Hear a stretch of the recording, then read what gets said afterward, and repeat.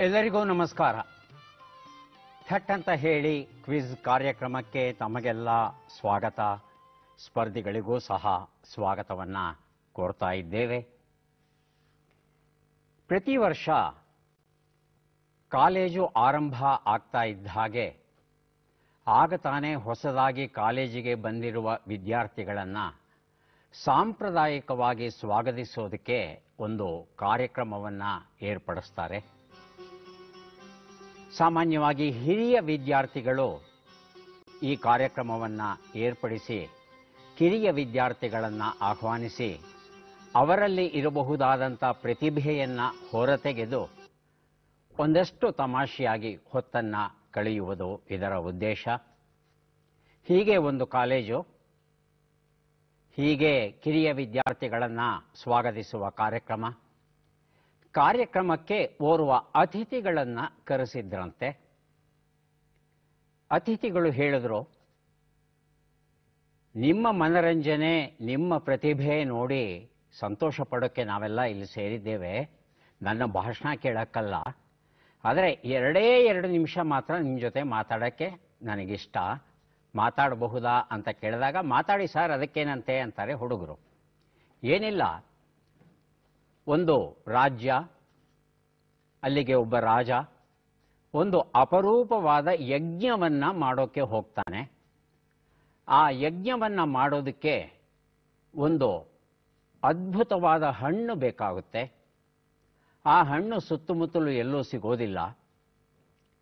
ದೂರದ ಬೆಟ್ಟದ ಆಚೆ ಇರತಕ್ಕಂಥ ಕಾಡಲ್ಲಿ ಓರ್ವ ಋಷಿ ಇದ್ದಾನೆ. ಆತನ ಆಶ್ರಮದಲ್ಲಿ ಮಾತ್ರ ಆ ಹಣ್ಣು ಸಿಗುತ್ತೆ. ಹೋಗಿ ತಂತು ಅಂದರೆ ಈ ಯಜ್ಞವನ್ನ ಮಾಡಬಹುದು ಅಂತ ಪುರೋಹಿತರೆಲ್ಲರೂ ಹೇಳ್ತಾರೆ. ರಾಜ ಹೇಳ್ತಾನೆ, ಅದಕ್ಕೇನಂತ ಈಗಲೇ ಹೋಗಿ ತರ್ತೇನೆ ಅಂತ ಹೇಳಿ ತನ್ನ ಸೈನಿಕರ ಜೊತೆ ಆಶ್ರಮಕ್ಕೆ ಹೋಗ್ತಾನೆ. ಅಲ್ಲಿದ್ದಂಥ ಋಷಿಯನ್ನ ಬೇಡ್ತಾನೆ, ಹಣ್ಣನ್ನು ಕೊಡಿ ದಯವಿಟ್ಟು ಅಂತ. ಋಷಿಗಳಿಗೂ ಸಂತೋಷವಾಗುತ್ತೆ. ಬಹಳ ಒಳ್ಳೆಯ ಕೆಲಸಕ್ಕೆ ಲೋಕ ಕಲ್ಯಾಣಕ್ಕಾಗಿ ಯಜ್ಞ ಮಾಡ್ತಾ ಇರೋದ್ರಿಂದ ಹಣ್ಣನ್ನು ಖಂಡಿತ ತಗೊಂಡು ಹೋಗಬಹುದು ಅಂತ ಹೇಳ್ತಾನೆ. ಆದರೆ ಈ ರಾಜನಿಗೆ ಆ ಆಶ್ರಮದ ಪರಿಸರವನ್ನು ನೋಡಿ ಬಹಳ ಸಂತೋಷವಾಗುತ್ತೆ. ನೋಡ್ತಾನೆ ಎಲ್ಲ ಕಡೆಗೆ ತೇಗದ ಮರ, ಗಂಧದ ಮರ, ಬೀಟೆ ಮರ, ನಂದಿ ಮರ, ದೊಡ್ಡ ದೊಡ್ಡ ಮರಗಳು. ಸುತ್ತಮುತ್ತಲು ಒಳ್ಳೆ ಹಣ್ಣಿನ ಮರಗಳು. ಹಾಗೆಯೇ ನೋಡ್ತಾನೆ ಹಸುಗಳು ಎಷ್ಟು ಚೆನ್ನಾಗಿ ಬೆಳೆದಿರುತ್ತವೆ ಹಾಲು ಚೆನ್ನಾಗಿ ಕೊಡ್ತಾ ಇರುತ್ತವೆ ಅವೆಲ್ಲ ನೋಡ್ತಾನೆ. ಹೀಗೆ ಒಂದೊಂದನೇ ಒಂದೊಂದನೇ ನೋಡ್ತಾ ಬರ್ತಾನೆ, ಹೇ, ಎಷ್ಟು ಚೆನ್ನಾಗಿದೆ ಕಾಡಿನ ಮಧ್ಯೆ ಇದು. ವಾಸ್ತವದಲ್ಲಿ ಇರಬೇಕಾದದ್ದು ಇವೆಲ್ಲ ಅರಮನೆಯಲ್ಲಿ ಇಲ್ಲಿದೆಯಲ್ಲ ಅಂತ ಅಂದ್ಕೊಂಡು ಕೊನೆಗೆ ಆ ಋಷಿಗಳ ಆಶ್ರಮಕ್ಕೆ ಬಂದಾಗ ಆ ಋಷಿಗಳಿಗೆ ಓರ್ವ ಮಗಳಿರ್ತಾಳೆ. ತುಂಬ ಸುಂದರವಾಗಿರ್ತಾಳೆ ಆಕೆ. ಇಷ್ಟು ಸುಂದರಿಯಾದ ಈ ಹುಡುಗಿ ಕಾಡಲ್ಲಿದ್ದು ಏನು ಮಾಡ್ತಾಳೆ? ಇವಳು ಮದುವೆಯಾಗಿ ನನ್ನ ರಾಣಿಯ ಹಾಗೆ ಇರಬೇಕು. ಬಲವಂತವಾಗಿ ಆ ಋಷಿಯನ್ನು ಒಪ್ಪಿಸಿ ಅವಳನ್ನು ಮದುವೆಯಾಗಿ ಸುತ್ತಮುತ್ತಲೂ ಇದ್ದಂಥ ಆ ಅಮೂಲ್ಯವಾದ ಶ್ರೀಗಂಧ, ಬೀಟೆ, ತೇಗ ಮರಗಳಿತ್ತು ಅವನ್ನೆಲ್ಲ ಕತ್ತರಿಸ್ತಾ ಅಲ್ಲಿದ್ದಂಥ ಹಸುಗಳನ್ನೆಲ್ಲ ಹೊಡ್ಕೋತಾ ಹೋಗ್ತಾನೆ. ಹೀಗೆ ಹೋಗುವಾಗ ಅವನು ಯಜ್ಞಕ್ಕಾಗಿ ಹಣ್ಣನ್ನು ತಗೊಳ್ಳಿಕ್ಕೆ ಬಂದಲ್ಲ ಆ ಹಣ್ಣನ್ನು ಮರೆತು ರಾಜ್ಯಕ್ಕೆ ಹಿಂದಿರುತ್ತಾನೆ ಹುಡುಗರಿಗೆಲ್ಲ ಆಶ್ಚರ್ಯ ಆಗುತ್ತೆ, ಏನು ಕತೆ, ರಾಜ, ಹಣ್ಣು, ಯಜ್ಞ, ಇವೆಲ್ಲ ನಮ್ಗೆ ಅರ್ಥವಾಗಲಿಲ್ಲ. ಅಂತ ಇದ್ದಾಗ ಆ ಅತಿಥಿಗಳು ಕೇಳ್ತಾರೆ, ರಾಜ ಮಾಡಿದ್ದು ಸರಿ ಅಂತ ಅನ್ಸುತ್ತಾ ನಿಮಗೆ? ಇಲ್ಲ ಸರ್, ಅವನು ಮಾಡಿದ ತಪ್ಪು. ಅವನು ಬಂದದ್ದು ಹಣ್ಣು ತಗೊಂಡು ಹೋಗಲಿಕ್ಕೆ, ಲೋಕ ಕಲ್ಯಾಣಕ್ಕಾಗಿ. ಹಣ್ಣು ತಗೊಂಡು ಹೋಗೋದು ಬಿಟ್ಟು ಮಿಕ್ಕಿದೆಲ್ಲ ಮಾಡಬಾರ್ದ ಕೆಲಸಗಳನ್ನೆಲ್ಲ ಮಾಡ್ದ ಅವನು. ಆಗ ಅತಿಥಿಗಳು ಹೇಳ್ತಾರೆ, ಅಪ್ಪ, ಆ ರಾಜ ಬೇರೆ ಯಾರೂ ಅಲ್ಲ, ನೀವೇ. ಆ ಹಣ್ಣು ಇದ್ಯಾವುದೂ ಅಲ್ಲ, ವಿದ್ಯಾಭ್ಯಾಸ. ರಾಜ ಹಣ್ಣಿಗಾಗಿ ಬಂದ ಹಣ್ಣನ್ನು ಮರೆತು ಹೋದ. ನೀವು ವಿದ್ಯಾಭ್ಯಾಸಕ್ಕಾಗಿ ಬಂದಿದ್ದೀರಿ ಈ ಕಾಲೇಜಿಗೆ. ವಿದ್ಯಾಭ್ಯಾಸವನ್ನು ಪೂರ್ಣಗೊಳಿಸೋದು ನಿಮ್ಮ ಏಕೈಕ ಉದ್ದೇಶ ಆಗಬೇಕು. ಅದನ್ನು ಬಿಟ್ಟು ಪೊಲೀಸ್ ಹೊತ್ತೋದು ಸ್ಟ್ರೈಕ್ ಮಾಡೋದು, ಪ್ರೀತಿ, ಪ್ರೇಮ ಅಂತ ಹಳ್ಳಕ್ಕೆ ಬೀಳೋದು. ಹೀಗೆ ಬೇರೆ ಬೇರೆ ಆಕರ್ಷಣೆಗಳು ಏನಿರುತ್ತೆ, ಅದಕ್ಕೆ ಬಲಿಯಾಗಿ ಈ ಕಾಲೇಜಿಗೆ ನೀವು ಯಾಕೆ ಬಂದಿದ್ದೀರಿ? ವಿದ್ಯೆಯನ್ನು ಕಲಿಯೋಕಲ್ವಾ? ಅದನ್ನು ಬಿಟ್ಟು ಎಲ್ಲವನ್ನ ಮಾಡ್ತಾ ನಿಮ್ಮ ಬದುಕನ್ನು ಹಾಳು ಮಾಡ್ಕೋಬೇಡಿ. ನೀವು ಬಂದಿರೋದೇ ಆ ಹಣ್ಣನ್ನು ತಗೊಂಡು ಹೋಗಲಿಕ್ಕೆ, ವಿದ್ಯೆಯನ್ನು ಗಳಿಸಲಿಕ್ಕೆ, ವಿದ್ಯೆಯನ್ನು ಕಲಿ ಚೆನ್ನಾಗಿ ಕಲಿತು ನಿಮ್ಮ ಮನೆಗೆ, ನಿಮ್ಮ ಕುಟುಂಬಕ್ಕೆ, ನಿಮ್ಮ ದೇಶಕ್ಕೆ, ಇಡೀ ಮನುಕುಲಕ್ಕೆ ಒಳ್ಳೆಯದನ್ನು ಮಾಡುವ ಲೋಕ ಕಲ್ಯಾಣ ಉದ್ದೇಶ ಉಂಟು ನಿಮ್ಮ ವಿದ್ಯೆಗೆ. ಹಾಗಾಗಿ ದಯವಿಟ್ಟು ನಿಮ್ಮ ಓದಿನ ಕಡೆ ಗಮನ ಕೊಡಿ ಇದರ ಕಡೆ ಗಮನ ಹರಿಸಬೇಡಿ ಅಂತ ಹೇಳಿದ್ರಂತೆ ಆ ಅತಿಥಿಗಳು. ಹೌದಾ? ಅತಿಥಿಗಳು ಹೇಳಿದಂಥ ಮಾತಲ್ಲಿ ಏನಾದರೂ ಅರ್ಥ ಉಂಟಾ?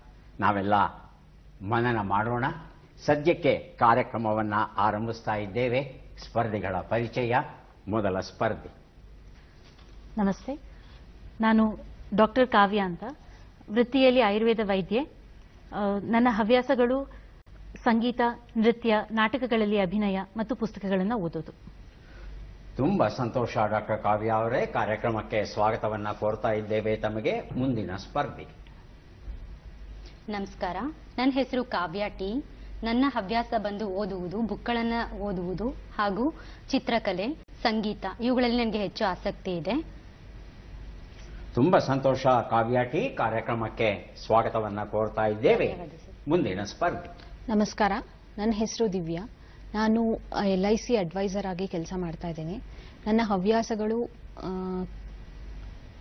ಪುಸ್ತಕಗಳನ್ನು ಓದೋದು ಹಾಗೂ ಹೊಸ ಬಡಗೆ ಹೊಸ ಬಗೆಯ ಅಡುಗೆಗಳನ್ನ ಟ್ರೈ ಮಾಡೋದು. ತುಂಬ ಸಂತೋಷ. ದಿವ್ಯಾ ಅವರೇ, ಕಾರ್ಯಕ್ರಮಕ್ಕೆ ಸ್ವಾಗತವನ್ನ ಕೋರ್ತಾ ಇದ್ದೇವೆ. ತಾವು ಮೂವರು ಸಿದ್ಧವಾಗಿದ್ದೀರಿ ಅನ್ನೋದಾದರೆ ಕಾರ್ಯಕ್ರಮ ಆರಂಭಿಸೋಣ. ಮೊದಲಿಗೆ ನಿಯಮಗಳನ್ನ ನೋಡಿಬಿಡೋಣ. ಒಟ್ಟು ಹನ್ನೆರಡು ಪ್ರಶ್ನೆಗಳು. ಮೊದಲು ಬಜರ್ ಒತ್ತಿದವರಿಗೆ ಉತ್ತರ ನೀಡುವ ಅವಕಾಶ, ಪ್ರತಿ ಸರಿ ಉತ್ತರಕ್ಕೆ ಒಂದು ಪುಸ್ತಕ, ಬಹುಮಾನ. ಆಯ್ಕೆಗಳು ಬರುವ ಮೊದಲೇ ಬಜರ್ ಒತ್ತಿ ಸರಿ ಉತ್ತರ ನೀಡಿದರೆ ಎರಡು ಪುಸ್ತಕ, ಬಹುಮಾನ. ನೂರು ಅಂಕ ಗಳಿಸಿದವರಿಗೆ ವಿಶೇಷ ಬಹುಮಾನ. ನಕಾರಾತ್ಮಕ ತಂತ್ರಗಳಿಗೆ ಅವಕಾಶವಿಲ್ಲ. ಇಂದಿನ ಕಾರ್ಯಕ್ರಮದಲ್ಲಿ ನಾವು ನೀಡುವ ಎಲ್ಲ ಪುಸ್ತಕಗಳನ್ನ ಸಪ್ನ ಬುಕ್ ಹೌಸ್ ಅವರು ಕೊಟ್ಟಿದ್ದಾರೆ. ಅವರಿಗೆ ಕೃತಜ್ಞತೆಗಳನ್ನು ಸೂಚಿಸುತ್ತಾ ಕಾರ್ಯಕ್ರಮದ ಮೊದಲ ಪುಸ್ತಕ, ಮೊದಲ ಪ್ರಶ್ನೆಯನ್ನ ಈಗ ನೋಡೋಣ. ನಗೆಯಾನ. ಸಂಗ್ರಹ ಆರ್ ಡಿ ನಮ್ಮ ಮೊದಲ ಪ್ರಶ್ನೆ ಈಗ ಬಂತು. ಪ್ರಶ್ನೆಯನ್ನ ನೋಡೋಣ. ಕೇರಿ ಕಾಣದಿರು ಎಂಬ ನುಡಿಗಟ್ಟಿನ ಅರ್ಥವೇನು? ಆಯ್ಕೆಗಳನ್ನ ನೋಡೋಣ.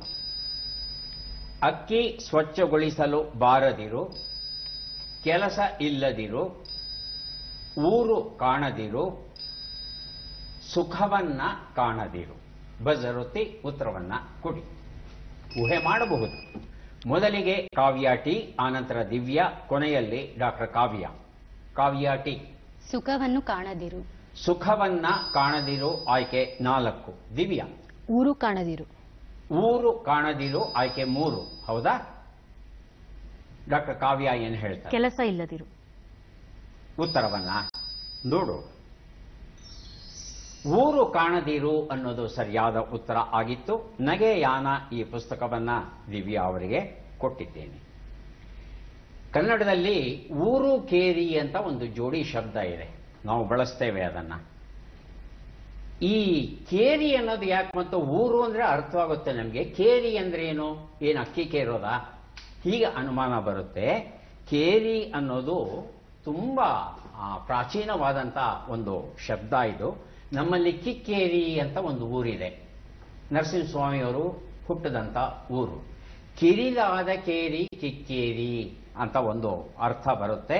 ಹಾಗೇನೆ ಇಕ್ಕೇರಿ.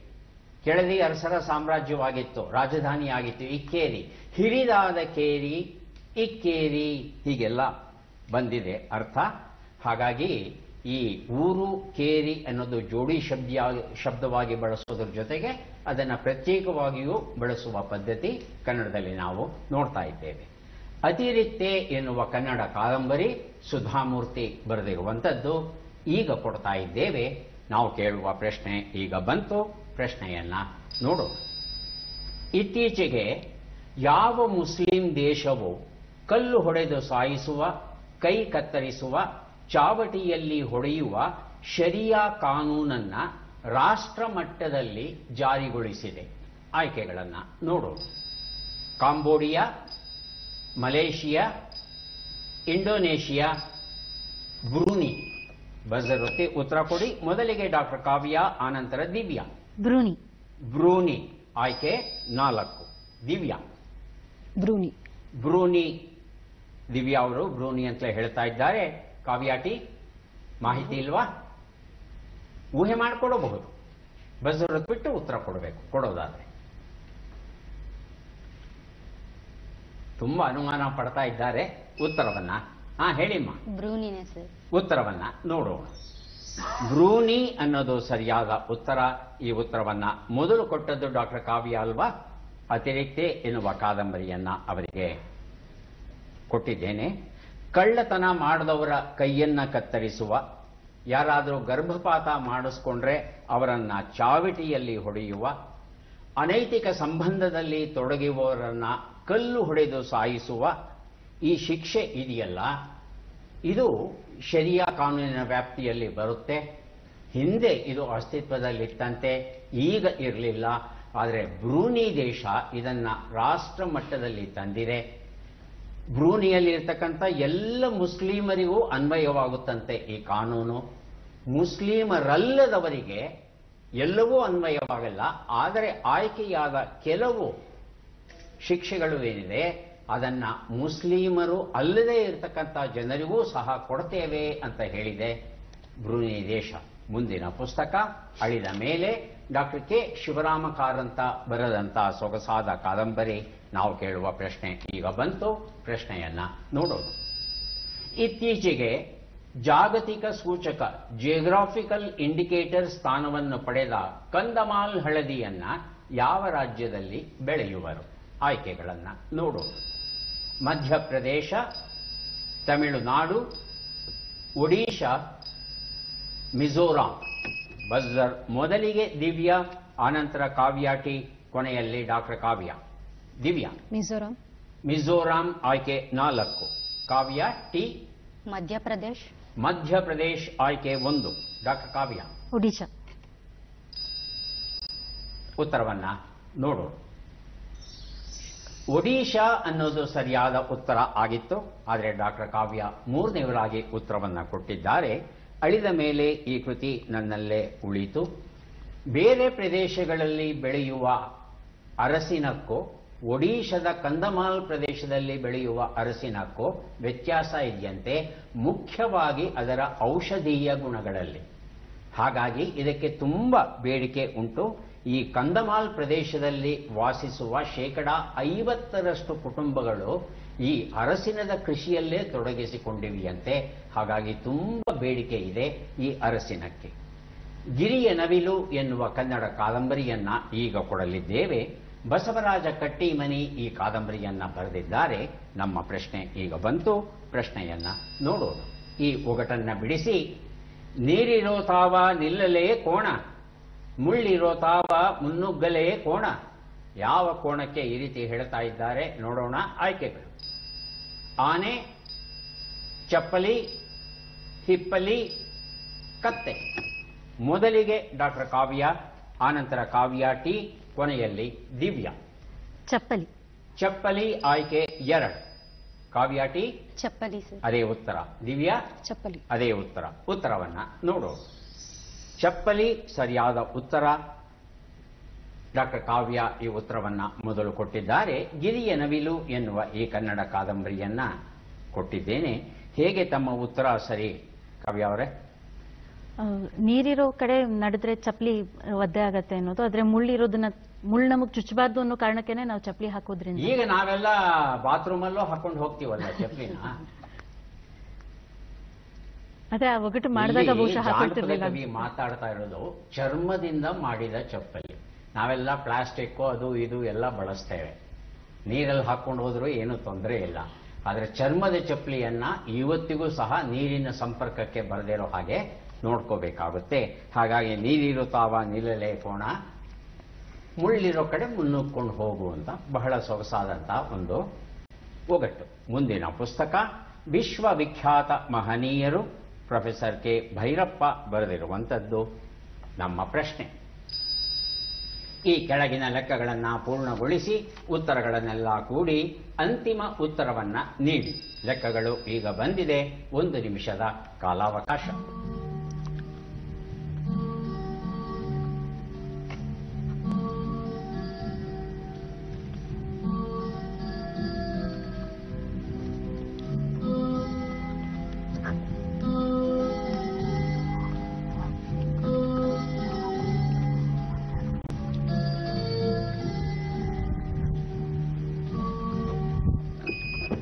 ಬಜರ್ ಮೊದಲಿಗೆ ಡಾಕ್ಟರ್ ಕಾವ್ಯ ಆನಂತರ ಕಾವ್ಯ ಟಿ ಕೊನೆಯಲ್ಲಿ ದಿವ್ಯಾ ಬಜರ್ ಒತ್ತಿದ್ದಾರೆ. ಮೊದಲಿಗೆ ಡಾಕ್ಟರ್ ಕಾವ್ಯ ಅಂತಿಮ ಉತ್ತರ.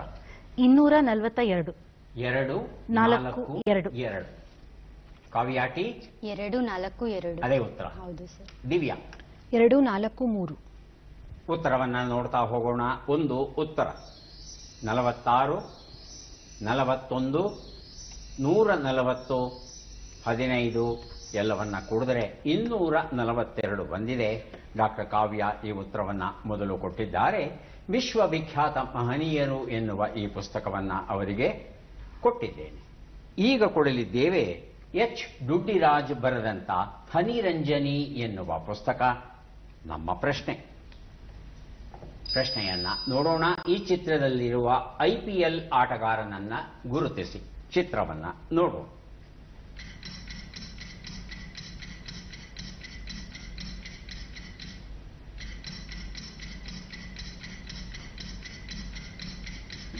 ಆಯ್ಕೆಗಳು. Colin de Grandhomme Shivam Dube Nathan Coulter Nile A B de Villiers. ಮೊದಲಿಗೆ ಡಾಕ್ಟರ್ ಕಾವ್ಯ ಆನಂತರ ಕಾವ್ಯಾಟಿ ಕೊನೆಯಲ್ಲಿ Divya. Doctor Kavya. Nathan Coulter Nile. Nathan Coulter Nile ಆಯ್ಕೆ ಮೂರು. Kavya T. A B de Villiers.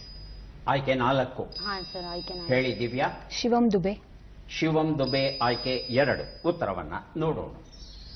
Nathan ಕೌಲ್ಟರ್ nail ಅನ್ನೋದು ಸರಿಯಾದ ಉತ್ತರ ಆಗಿತ್ತು. ಡಾಕ್ಟರ್ ಕವ್ಯ ಈ ಉತ್ತರವನ್ನ ಕೊಟ್ಟಿದ್ದಾರೆ. ಹನಿರಂಜನಿ ಎನ್ನುವ ಈ ಪುಸ್ತಕವನ್ನ ಅವರಿಗೆ ಕೊಟ್ಟಿದ್ದೇನೆ. ಮುಂದೆ ಕೊಡಲಿದ್ದೇವೆ. ಧರಣಿ ಮಂಡಲ ಮಧ್ಯದೊಳಗೆ ನಾಲ್ಕು ನಾಟಕಗಳ ಪುಸ್ತಕ ಎಚ್ ಎಸ್ ವೆಂಕಟೇಶ್ ಮೂರ್ತಿ ಇದನ್ನ ಬರೆದಿದ್ದಾರೆ. ನಮ್ಮ ಪ್ರಶ್ನೆ. ಈ ಅಕ್ಷರಗಳನ್ನು ಸರಿಯಾಗಿ ಜೋಡಿಸಿ ಅಕ್ಷರಗಳು. ಉ ಲ ಗೆ ದ ಜಿ ಟ ಮ ಈ ಪ್ರಶ್ನೆಯನ್ನ ಓದಿ ಮುಗಿಸೋಷ್ಟರಲ್ಲಿ ದಿವ್ಯಾ ಬಜರುತ್ತಿದ್ದಾರೆ. ಉತ್ತರವನ್ನ ಕೇಳೋಣ. ಊಟಕ್ಕಿಲ್ಲದ ಮಜ್ಜಿಗೆ. ಎಂಟಕ್ಷರ ಬೇಕು ನನಗೆ. ಡಾಕ್ಟರ್ ಕಾವ್ಯ ಅವರು ಸಹ ಬಜರ್ ಕೇಳಬಹುದಾ ಮಜ್ಜಿಗೆ ಇಲ್ಲದ? ಮಜ್ಜಿಗೆ ಇಲ್ಲದ ಊಟ. ಮಜ್ಜಿಗೆ ಇಲ್ಲದ ಊಟ ಅಂತಿದ್ದಾರೆ ಡಾಕ್ಟರ್ ಕಾವ್ಯ. ಮಜ್ಜಿಗೆ ಇಲ್ಲದ ಊಟ. ಅದೇ ಉತ್ತರವಾ. ಕಾವ್ಯ ಟಿ? ಮಜ್ಜಿಗೆ ಇಲ್ಲದ ಊಟ ಸರ್. ಮಜ್ಜಿಗೆ ಇಲ್ಲದ ಊಟ. ಉತ್ತರವನ್ನ ನೋಡು. ಮಜ್ಜಿಗೆ ಇಲ್ಲದ ಊಟ ಉತ್ತರ ಸರಿಯಾಗಿದೆ. ಮೂವರು ಈ ಉತ್ತರ ಕೊಟ್ಟಿದ್ದೀರಾ? ಮೊದಲು ಕೊಟ್ಟವರು ದಿವ್ಯಾ ಅವರು. ಅವರಿಗೆ ಧರಣಿ ಮಂಡಲ ಮಧ್ಯದೊಳಗೆ ಎನ್ನುವ ಈ ನಾಟಕದ ಪುಸ್ತಕವನ್ನ ಕೊಟ್ಟಿದ್ದೇನೆ. ಈಗ ಕೊಡ್ತಾ ಇದ್ದೇವೆ. ಎಂ ಜಿ ನಾಗರಾಜರಾವ್ ಬರೆದ ಸುಲಭ ಹೆಜ್ಜೆಗಳಲ್ಲಿ ಇಂಗ್ಲಿಷ್ ಎನ್ನುವ ಪುಸ್ತಕ. ಪ್ರಶ್ನೆ. ಔಷಧವನ್ನ ನೀರು ಅಥವಾ ಹಾಲು ಅಥವಾ ಜೇನುತುಪ್ಪದಲ್ಲಿ ಆಗಿ ಕಲೆಸು ಎಂಬ ಅರ್ಥವನ್ನು ನೀಡುವ ರ ಅಕ್ಷರದಿಂದ ಆರಂಭವಾಗುವ ಮತ್ತೊಂದು ಕನ್ನಡ ಶಬ್ದವನ್ನ ನೀಡಿ ಪ್ರಶ್ನೆಯನ್ನ ಓದಿ ಮುಗಿಸುವಷ್ಟರಲ್ಲಿ ಡಾಕ್ಟರ್ ಕಾವ್ಯ ಬಜರುತ್ತಿದ್ದಾರೆ ಉತ್ತರ. ರಂಗಳಿಸು. ರಂಗಳಿಸು. ರಂದ ರಂಗಳಿಸು. ರಂಗಡಿಸು. ಇನ್ಯಾರಾದ್ರೂ ಉತ್ತರ ಕೊಡೋರಿದ್ದೀರಾ? ಆಯ್ಕೆಗಳು ಬೇಕಾ? ಆಯ್ಕೆಗಳು. ರಂಗುವಿಡಿ ರಂಗಾಣ ರಂಗಳಿಸು ರಂಗಾರಿ. ದಿವ್ಯಾ? ರಂಗಳಿಸು. ಆಯ್ಕೆ ಮೂರನೇ? ಮೂರು. ಕಾವ್ಯ ಟಿ. ರಂಗಳಿಸು. ಉತ್ತರವನ್ನ. ನೋಡು. ರಂಗಳಿಸು ಉತ್ತರ ಸರಿಯಾಗಿದೆ. ಈ ಉತ್ತರವನ್ನ ಡಾಕ್ಟರ್ ಕಾವ್ಯ ಅವರು ಕೊಟ್ಟಿದ್ದಾರೆ. ಸುಲಭ ಹೆಜ್ಜೆಗಳಲ್ಲಿ ಇಂಗ್ಲಿಷ್ ಎನ್ನುವ ಪುಸ್ತಕದ ಜೊತೆ ಇನ್ನೂ ಒಂದು ಪುಸ್ತಕ ಕೊಡ್ತಾ ಇದ್ದೇನೆ. ಶಾಪ. ಟಿ ಪಿ ಕೈಲಾಸಂ ಅವರ ಆಂಗ್ಲ ನಾಟಕ ದ ಬ್ರಾಹ್ಮಿನ್ಸ್ ಕರ್ಸ್. ಅನುವಾದಕರು ಡಾಕ್ಟರ್ ಗೀತಾ ಸೀತಾರಾಮ್. ಬಹಳ ಒಳ್ಳೆಯ ಪುಸ್ತಕ ಡಾಕ್ಟರ್ ಕಾವ್ಯ ಅವರಿಗೆ ದೊರೆತಿದೆ. ರಂಗುವಿಡಿ ಅಂತ ಹೇಳ್ತಂದ್ರೆ ಕೆಂಪಾಗು, ಕೆಂಪು ಬಣ್ಣವೇರು ಎನ್ನುವ ಬರುತ್ತೆ. ರಂಗಾರಿ ಅಂದ್ರೆ ಬಣ್ಣದ ಕೆಲಸದವನು, ಪೇಂಟರ್ ಎನ್ನುವ ಅರ್ಥ ಬರುತ್ತೆ. ರಂಗಾಣಿ ಅಂದ್ರೆ ಗಿಲಿಕಿಗೆ ರಂಗಾಣಿ ಅಂತಲೂ ನಾವು ಹೇಳ್ತೇವೆ. ಮುಂದೆ ಕೊಡ್ತಾ ಇದ್ದೇವೆ. ನೀತಿಗೊಂದು ಕತೆ ಎನ್ನುವ ಪುಸ್ತಕ. ಸಂಪುಟೂರು ವಿಶ್ವನಾಥ್ ಈ ಒಂದು ಪುಸ್ತಕವನ್ನ ಬರೆದಿದ್ದಾರೆ. ನಮ್ಮ ಪ್ರಶ್ನೆ ಈಗ ಬಂತು. ಪ್ರಶ್ನೆಯನ್ನ ನೋಡು. ಇದು ವೀಕ್ಷಕರ ಪ್ರಶ್ನೆ. ಈ ಪ್ರಶ್ನೆಯನ್ನ ಎಂ ಸರಸ್ವತಿ ಆನೇಕಲ್ ಅವರು ಕೊಟ್ಟಿದ್ದಾರೆ. ಪ್ರಶ್ನೆ ಇತ್ತೀಚೆಗೆ ಶ್ರೀರಂಗಪಟ್ಟಣದಲ್ಲಿ ಟಿಪ್ಪು ಸುಲ್ತಾನನ ಅರಮನೆಯನ್ನ ಪತ್ತೆ ಹಚ್ಚಲಾಗಿದೆ. ಆ ಅರಮನೆಯ ಹೆಸರೇನು? ಆಯ್ಕೆಗಳನ್ನ ನೋಡು. ಶೀಶ್ ಮಹಲ್, ಮೋರ್ ಮಹಲ್, ಜಲಮಹಲ್, ಲಾಲ್ ಮಹಲ್. ಮೊದಲಿಗೆ ಡಾಕ್ಟರ್ ಕಾವ್ಯ ಆನಂತರ ದಿವ್ಯಾ ಕೊನೆಯಲ್ಲಿ ಕಾವ್ಯ ಟಿ. ಡಾಕ್ಟರ್ ಕಾವ್ಯ. ಶೀಶ್ ಮಹಲ್ ಶೀಶ್ ಮಹಲ್ ಆಯ್ಕೆ ಒಂದು. ದಿವ್ಯಾ. ಶೀಶ್ ಮಹಲ್ ಅದೇ ಉತ್ತರ. ಕಾವ್ಯ ಟಿ. ಶೀಶ್ ಮಹಲ್ ಉತ್ತರವನ್ನ ನೋಡು. ಆದರೆ ಸರಿಯಾದ ಉತ್ತರ ಲಾಲ್ ಮಹಲ್ ಅಂತ ಆಗಿತ್ತು. ಇದು ಟಿಪ್ಪುವಿನ ಅನೇಕ ಅರಮನೆಗಳಲ್ಲಿ ಒಂದು ಅರಮನೆ. ಇದನ್ನ ಬೇಸಿಗೆಯ ಅರಮನೆ ಅಂತ ಕರೀತಾರಂತೆ. ಎರಡು ಅಂತಸ್ತಿನ ಕಟ್ಟಡವಾಗಿತ್ತಂತೆ ಇದು. ಇದನ್ನ ಕರ್ನಲ್ ಬೆಲ್ಲೆಸ್ಲಿ ಅನ್ನೋನು ನಾಶಗೊಳಿಸ್ತಾನೆ. ಇವತ್ತು ಇಡೀ ಅರಮನೆ ಇಲ್ಲ, ಆದರೆ ಅರಮನೆಯ ಅವಶೇಷಗಳು ಪಾಳು ಬಿದ್ದಂತ ಅರಮನೆ ಏನಿದೆ ಅದನ್ನು ಇವತ್ತಿಗೂ ಸಹ ನಾವು ನೋಡಬಹುದು. ರಂಗನಾಥ ಸ್ವಾಮಿಯ ದೇವಸ್ಥಾನದ ಹತ್ತಿರದಲ್ಲಿ ಇದೆ. ಒಂದು ನಂಬಿಕೆಯ ಅನ್ವಯ ಈ ಶ್ರೀರಂಗಪಟ್ಟಣದ ಅರಮನೆಯಿಂದ ಸಕಲೇಶಪುರದಲ್ಲಿ ಇರ್ತಕ್ಕಂಥ ಟಿಪ್ಪುವಿನ ಅರಮನೆ ಏನಿದೆ, ಅಲ್ಲಿಗೆ ಒಂದು ಗುಪ್ತ ದಾರಿ ಇದೆ. ನೆಲದ ಒಳಗೆ ಒಂದು ಸುರಂಗ ಮಾರ್ಗ ಇದೆ ಅಂತ ಒಂದು ನಂಬಿಕೆ ಇದೆ. ಆದರೆ ನಿಜಕ್ಕೂ ಇದೆಯಾ? ಈ ಬಗ್ಗೆ ನಮಗೆ ಮಾಹಿತಿ ಇಲ್ಲ. ನೀತಿಗೊಂದು ಕತೆ ನನ್ನಲ್ಲಿ ಕುಳಿತು, ಮೂರು ಪುಸ್ತಕ, ಮೂರು ಪ್ರಶ್ನೆ, ಮೂರು ಸುಳುಹು, ಪದಬಂಧ. ಈಗ ಬಂತು ಸುಳುಹುಗಳನ್ನು ನೋಡು.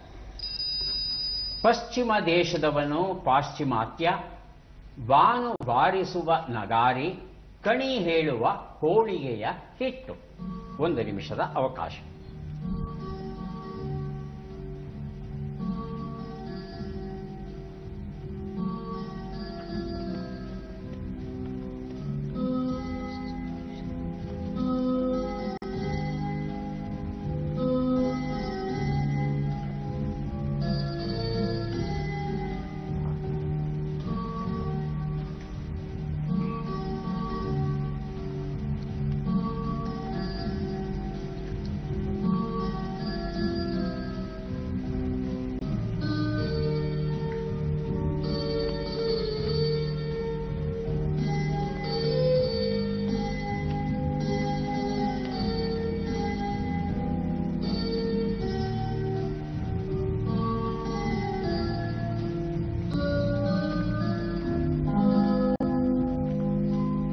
ಒಂದು ನಿಮಿಷದ ಕಾಲಾವಕಾಶ ಮುಕ್ತಾಯ ಆಯಿತು. ಉತ್ತರವನ್ನು ನೋಡ್ತಾ ಹೋಗೋಣ.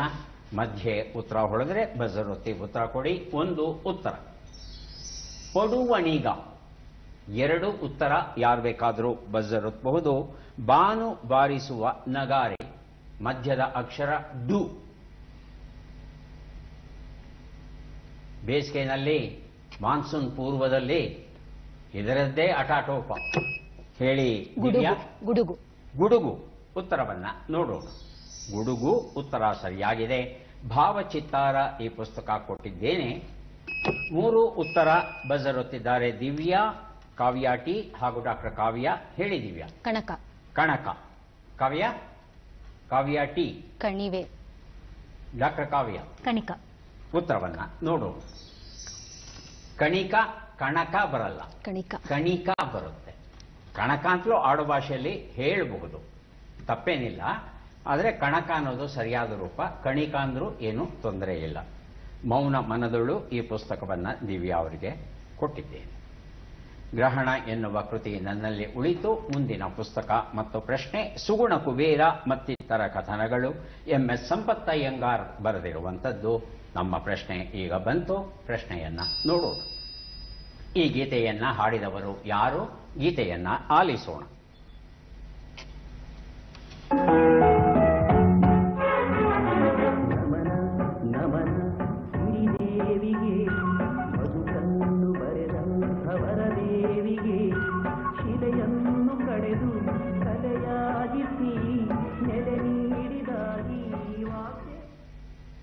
ಆಯ್ಕೆಗಳು ಕೊಡ್ಲಾ.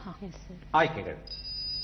Shankar Shanbhag Rajesh Krishnan L N Shastri Manu.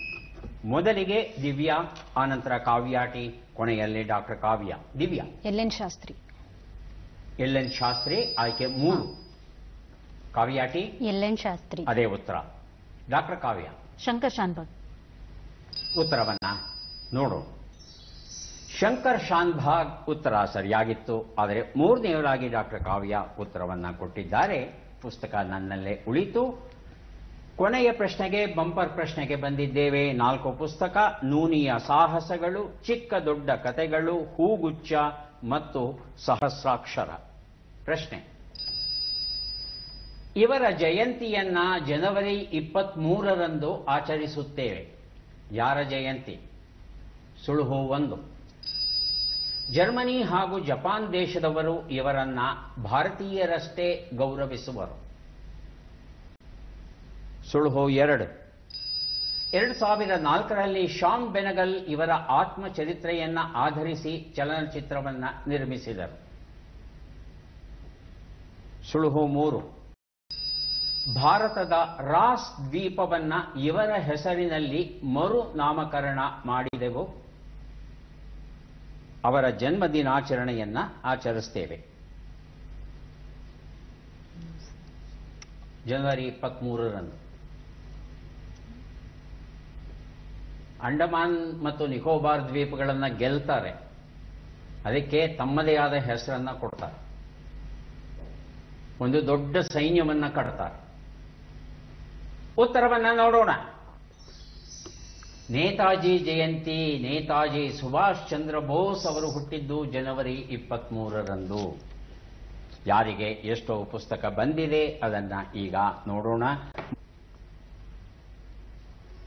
ಮೊದಲಿಗೆ ಡಾಕ್ಟರ್ ಕಾವ್ಯ ಆರು ಪುಸ್ತಕಗಳನ್ನು ಪಡೆದಿದ್ದಾರೆ. ದಯವಿಟ್ಟು ಪುಸ್ತಕವನ್ನು ಸ್ವೀಕರಿಸಿ ಕಾರ್ಯಕ್ರಮದಲ್ಲಿ ಭಾಗವಹಿಸಿದ್ದಕ್ಕೆ ಅಭಿನಂದನೆಗಳು. ಕಾವ್ಯ ಟಿ ಅವರಿಗೆ ಸುಗುಣ ಕುಬೇರ ಮತ್ತಿತರ ಕಥನಗಳ ಕೃತಿಯನ್ನು ಕೊಡ್ತಾ ಇದ್ದೇವೆ. ಅಭಿನಂದನೆಗಳು. ದಿವ್ಯಾ ಅವರಿಗೆ ಒಟ್ಟು ನಾಲ್ಕು ಪುಸ್ತಕ ತಮಗೆ ದೊರೆಯುತ್ತಾ ಇದೆ. ಸ್ವೀಕರಿಸಿ ಅಭಿನಂದನೆಗಳು